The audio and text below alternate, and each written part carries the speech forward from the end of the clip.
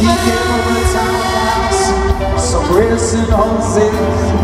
Each meal she ate was a dozen poisons. He gave her a million dollars worth of nickels and dimes. She said,